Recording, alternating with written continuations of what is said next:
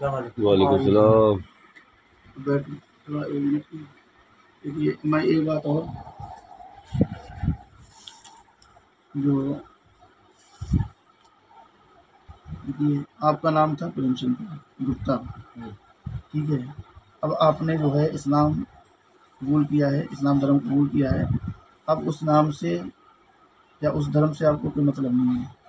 ठीक है? आज से आपका नाम निहाल है। और निहाल नाम से आपकी जो भी आई डी होगी ख़ासतौर से आधार कार्ड ही आपका सबसे पहले बनना है।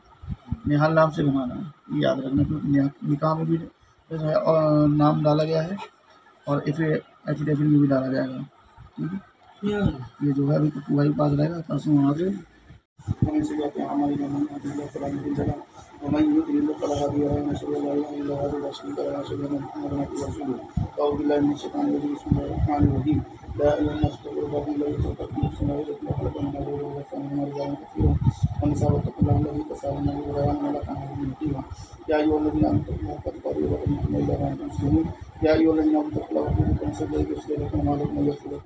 हमारा प्रेमचंद्र गुप्ता कहाँ के रहने वाले हो बरेली का रहने वाला हूँ शैतान रहता हूँ दस साल से ग्यारह जुलाई को जो तुम्हारी शादी हुई है हिंदू रीति रिवाज से हाँ, बताएं वो हिना खान है मैं प्रेमचंद्र गुप्ता एक दूसरे से प्यार करते हैं दो साल से उसने मुझसे शादी करी थी, कोई ज़बरदस्ती नहीं थी और सब राज़ी से हुआ था।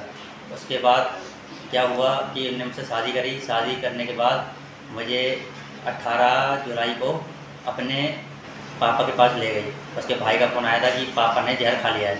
तो मुझे पीलीभीत लेके गई, बोली कि पीलीभीत चलना है। मैं नहीं जा रहा था तो बोल रही थी, मैं मर जाऊँगी तो तुम फंसोगे। अगर मैं अपनी घर की नहीं तुम्हारी भी नहीं।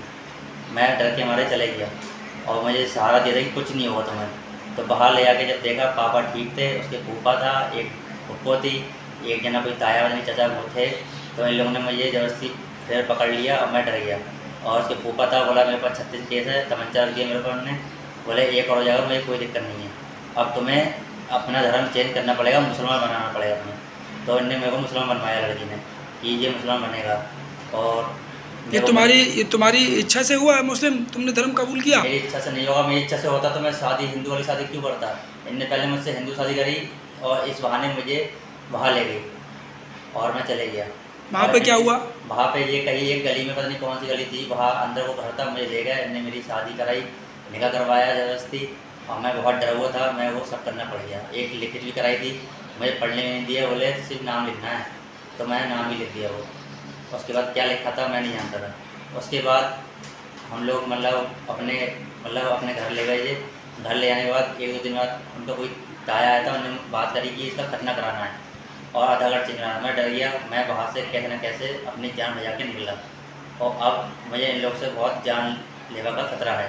और इन लोगों ने मुझे धमकी दी थी कि तुम लोग बाहर रहते हो रोड पे, किसी को भी मतलब हाई वायलेशन हमारे लोग का है, पापा या भाई का, इसे दबा के मरवा देंगे, हमारा कुछ नहीं होगा। जमानत में छोड़े जाएँगे इसलिए डर है। जुलाई माह में हिंदू युवक एवं मुस्लिम युवती जो उत्तराखंड में काम करते हैं, इनके द्वारा आपस में विवाह किया गया। दिनांक 17 एवं 20 अगस्त को दोनों पक्षों द्वारा एक दूसरे पर ज़बरदस्ती धर्म परिवर्तन का आरोप लगाते हुए प्रार्थना पत्र दिया गया है। संपूर्ण प्रकरण की जाँच राजपत्रित अधिकारी द्वारा की जा रही है। जांचों उपरांत आवश्यक विधिक कार्रवाई की जाएगी।